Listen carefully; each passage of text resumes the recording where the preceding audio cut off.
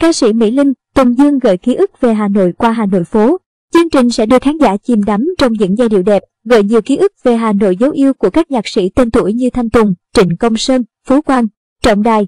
Vào tối ngày 15 tháng 7, tại Cung văn hóa lao động hữu nghị Việt Xô 91 Trần Hưng Đạo, Hoàng Kiếm, Hà Nội sẽ diễn ra đêm nhạc Hà Nội phố.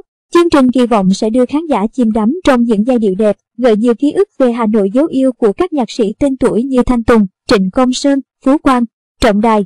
Là một trong những ca sĩ xuất hiện trong đêm nhạc, ca sĩ Mỹ Linh cho biết, chị sẽ kể câu chuyện của một người con gái gắn bó sâu sắc với Hà Nội qua những ca khúc gắn với tên tuổi của chị. Suốt 30 năm qua, Hà Nội đêm trở gió, trở lại tuổi thơ.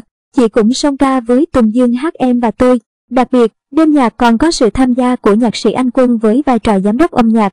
Anh bày tỏ, cũng lâu rồi tôi không tham gia vì qua đợt dịch, mọi thứ đang bị bão hòa. Lý do thứ hai vì tôi cảm thấy sự đầu tư cho các đêm nhạc hơi mì ăn liền quá, không hợp với tôi. Nhưng sau này tôi nghĩ rằng có sự đầu tư và rất yên tâm.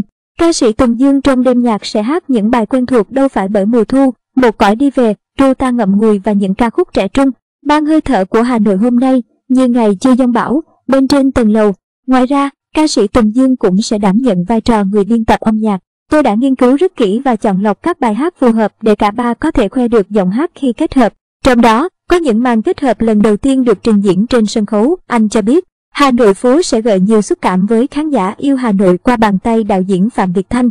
Ông tiết lộ, chương trình đưa người xem qua ba phần, ký ức, kỷ niệm xưa, những người con trở về qua sự hòa quyện giữa âm nhạc, hình ảnh và hiệu ứng sân khấu,